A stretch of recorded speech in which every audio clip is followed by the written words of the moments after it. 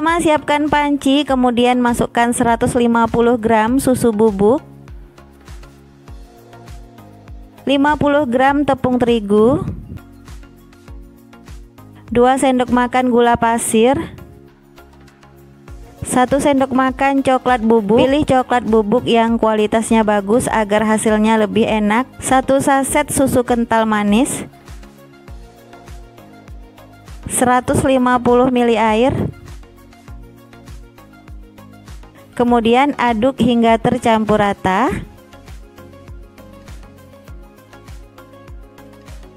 Jika sudah tercampur rata dan tidak ada yang bergerindil seperti ini, kemudian masak sampai mendidih dan mengental dengan api sedang.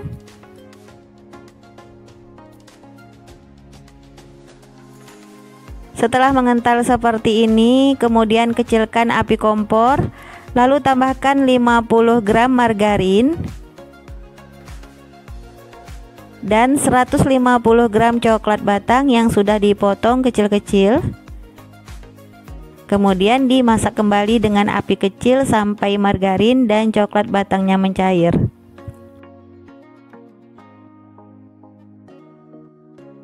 Nah ini sudah cukup. Kemudian matikan api kompor. Untuk kekentalannya seperti ini ya teman-teman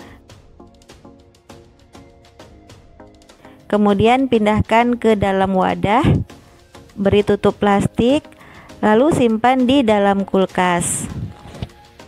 Selanjutnya kita akan membuat kulit mochi. Siapkan wadah, masukkan 400 gram tepung ketan putih, 50 gram gula pasir, setengah sendok teh garam halus, aduk sampai tercampur rata. Kemudian tambahkan lagi setengah sendok teh perasa vanila dan 400 ml air. Boleh juga digantikan dengan susu cair. Masukkan airnya secara bertahap dulu, kemudian aduk hingga rata. Masukkan sisa airnya. Oh ya teman-teman, jika terasa kental adonannya, boleh tambahkan 1 sampai 2 sendok makan air lagi, jangan banyak-banyak. Takutnya nanti adonannya bisa lembek ya.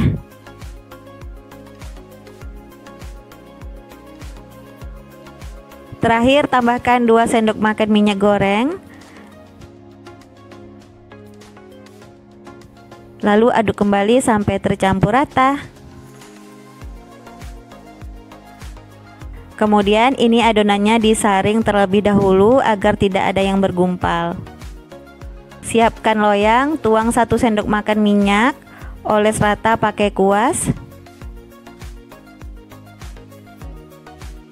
Kemudian tuang adonannya. Selanjutnya panaskan panci kukusan sampai airnya mendidih. Setelah airnya mendidih, masukkan loyang berisi adonan. Kukus selama 30 menit dengan api sedang cenderung kecil. Jangan lupa tutup panci alas dengan serbet atau kain bersih supaya uapnya tidak menetes ke adonannya. Setelah 30 menit ini sudah matang, langsung saja angkat. Jika ada air di bagian atas adonan, boleh dibuang terlebih dahulu. Selagi masih panas, langsung saja keluarkan dari loyangnya.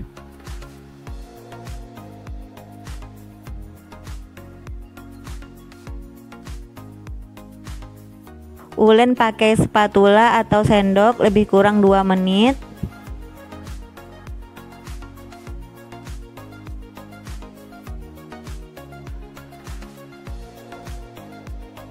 Kemudian dibiarkan dulu adonannya sampai hangat.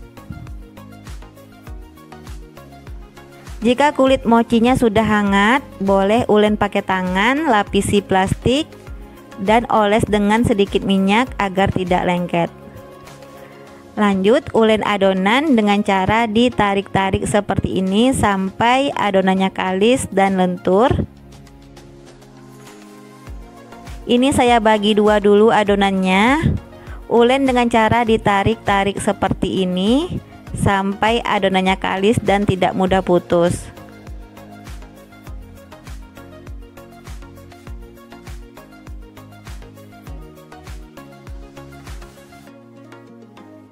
Oke, ini sudah kalis, artinya sudah cukup.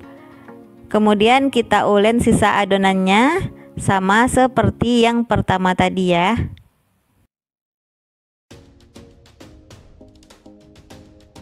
Untuk resep lengkapnya teman-teman boleh cek di kolom deskripsi atau di bawah judul. Bagi-bagi adonan, ini saya bagi per pieces beratnya 50 gram ya atau bisa disesuaikan dengan ukuran selera masing-masing. Jika untuk ide jualan sebaiknya ditimbang agar ukurannya sama besar. Ini tepung maizena yang sudah saya sangrai, sisa bikin mochi buah kemarin masih ada. Jadi saya nggak buat lagi ya. Jika teman-teman mau buat mochi buah, silakan cek di video sebelumnya. Ini selai coklatnya sudah set, buka dulu plastiknya. Lanjut kita ke tahap pengisian adonan Ambil satu adonan, pipihkan pakai tangan Alas kerjanya dilapisi tepung maizena sangrai agar tidak lengket. Isi dengan selai coklat.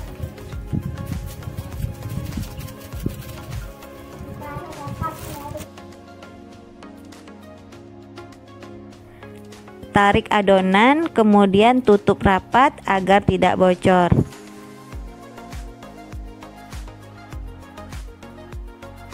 Beri tepung maizena sangrai, kemudian bulatkan.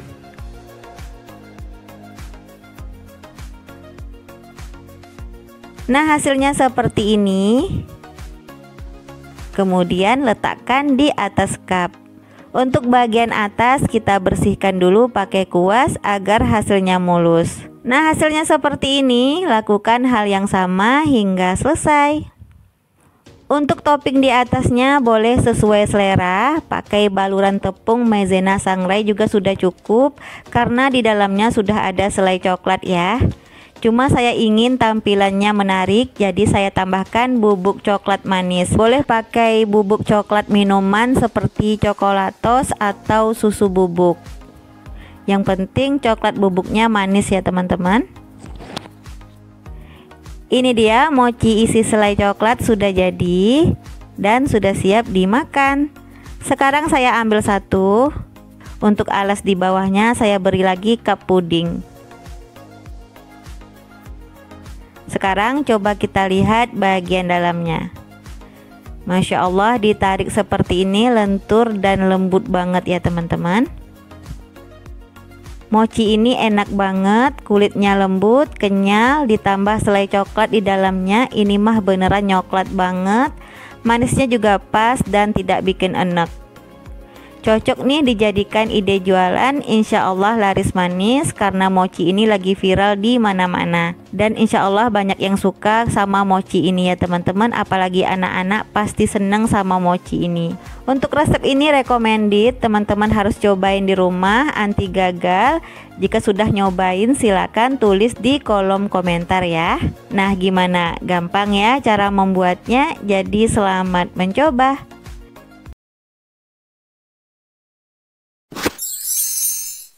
Pertama kita akan sangrai dulu 100 gram tepung maizena. Lalu tambahkan potongan daun pandan. Pakai daun pandan biar nanti tepung balurannya lebih wangi ya teman-teman. Masak dengan api kecil sampai daun pandannya kering atau sampai tepungnya terasa ringan Jika daun pandannya sudah terasa ringan, artinya sudah cukup ya. Kemudian angkat dan disisihkan terlebih dahulu. Selanjutnya kita akan membuat krimnya. Di sini ada whipped cream bubuk, saya pakai 100 gram. Tambahkan 200 ml susu cair dingin. Satu saset susu kental manis setara dengan 37 gram. Selanjutnya di mixer dengan kecepatan paling tinggi sampai adonannya kaku dan kental.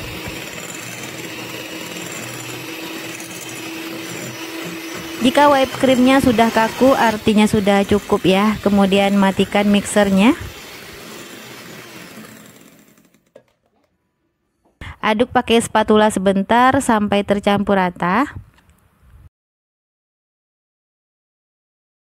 Kemudian masukkan ke dalam plastik segitiga.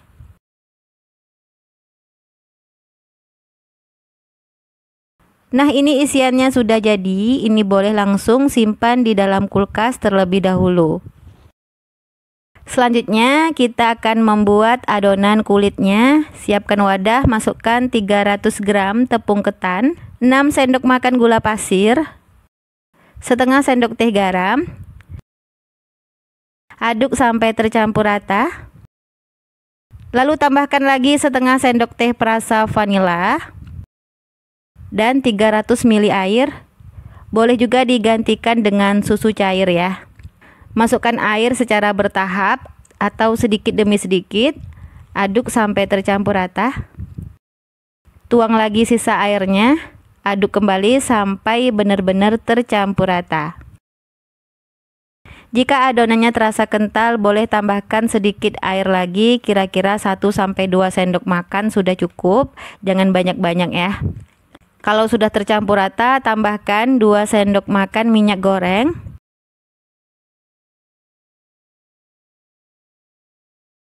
Aduk kembali sampai tercampur rata. Selanjutnya adonannya ini akan kita saring terlebih dahulu agar tidak ada yang bergerindil. Nah ini adonannya akan dibagi-bagi menjadi empat bagian sama banyak. Siapkan wadah tahan panas, ukurannya sama ya. Jadi ini adonannya tidak perlu ditimbang atau diukur lagi karena memang wadahnya sama besar. Oh ya teman-teman wadahnya dioles dulu dengan minyak goreng agar tidak lengket. Pertama kita beri 4 tetes pewarna ungu. Di wadah selanjutnya 4 tetes pewarna kuning muda. Di wadah ketiga ini saya beri sedikit pasta pandan dan untuk wadah terakhir saya pakai polos tidak ada penambahan warna ya teman-teman. Aduk hingga tercampur rata. Jika sudah tercampur rata ini akan kita kukus. Selanjutnya panaskan panci kukusan sampai airnya mendidih. Setelah airnya mendidih, masukkan wadah berisi adonan. Kukus selama 30 menit dengan api sedang cenderung kecil. Jangan lupa tutup panci alas dengan serbet atau kain supaya uapnya tidak menetes ke adonannya. Setelah 30 menit ini sudah matang, langsung saja diangkat.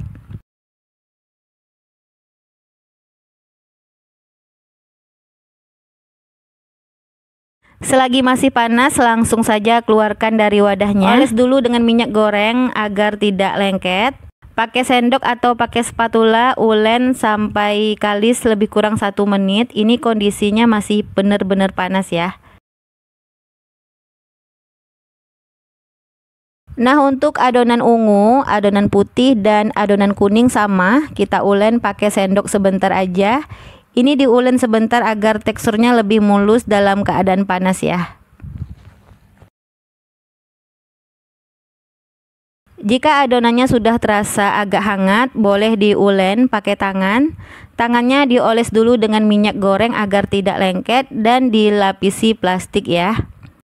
Cara ulen adonannya cukup ditarik-tarik seperti ini sampai adonannya lentur dan tidak putus.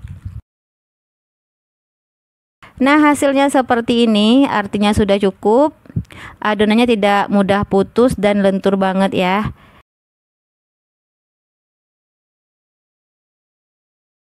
Untuk adonan putih, adonan hijau, dan adonan ungu sama kita ulin dengan cara ditarik-tarik ya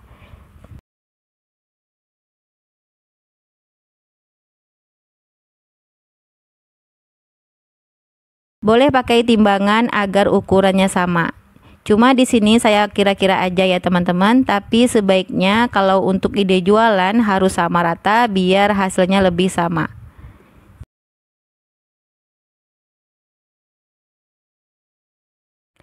Nah ini adonannya sudah dibagi-bagi Satu resep ini hasilnya jadi 24 mochi Ukurannya tidak terlalu besar Lanjut ke tahap pengisiannya, ambil satu mochi, kemudian pipihkan pakai rolling pin atau pakai tangan juga bisa karena sudah dioles dengan minyak goreng dan sudah dilapisi dengan plastik.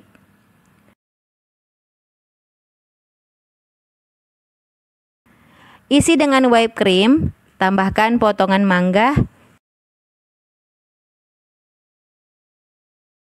isi lagi dengan whipped cream. Kemudian ditarik adonannya, Tutup rapat dan hati-hati agar isiannya tidak keluar.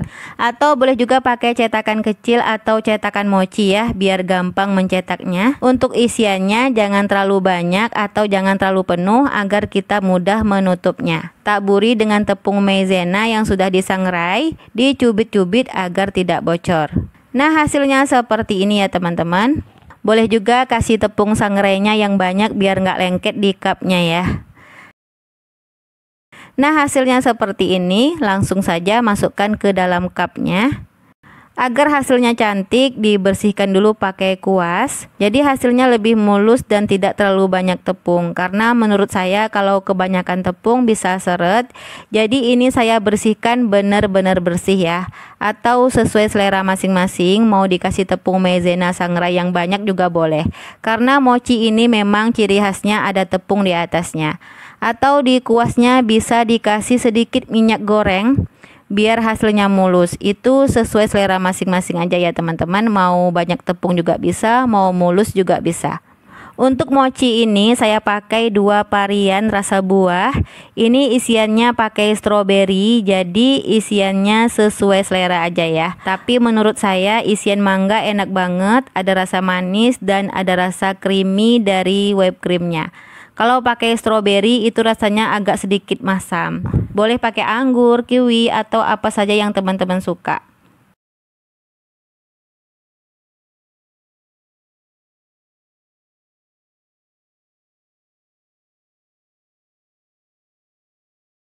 Ini dia sudah selesai diisi semuanya. Untuk topping di atasnya yang mochi putih saya beri potongan stroberi. Ini harusnya diberi dulu sedikit whipped cream baru dikasih topping ya bun biar lengket.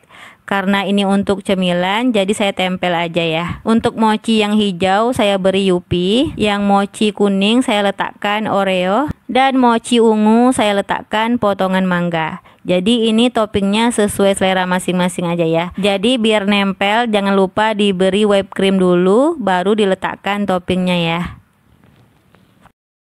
Ini dia mochinya sudah jadi dan sudah siap disajikan. Satu resep ini hasilnya lumayan banyak jadi 24 mochi dengan ukuran yang tidak terlalu besar. Jadi ini cocok banget dijual dengan harga 2000-an ya. Untuk tampilannya ini menarik banget, cocok nih dijadikan ide jualan. Insya Allah laris manis karena ini lagi viral banget di mana-mana. Kelihatan ya teman-teman, ini teksturnya kenyal, lentur dan tidak keras sama sekali ditambah dengan isiannya jadinya creamy dan seger banget. Untuk rasanya ini recommended banget. Teman-teman harus cobain di rumah. Dan yang belum pernah nyobain mochi silahkan cobain resep ini dijamin bikin ketagihan dan suka dengan resep ini. Untuk penyimpanan mochi ini harus di wadah tertutup atau wadah donat di suhu ruang agar teksturnya tetap kenyal dan lembut. Kalau dimasukkan ke dalam kulkas nanti teksturnya agak sedikit berbeda ya. Nah, gimana? Gampang ya cara bikinnya. Jadi selamat mencoba. Sekian dulu video kali ini. Terima kasih yang sudah menonton. Mohon maaf jika ada salah. Semoga bermanfaat. Sampai ketemu di video selanjutnya. Wassalamualaikum warahmatullahi wabarakatuh.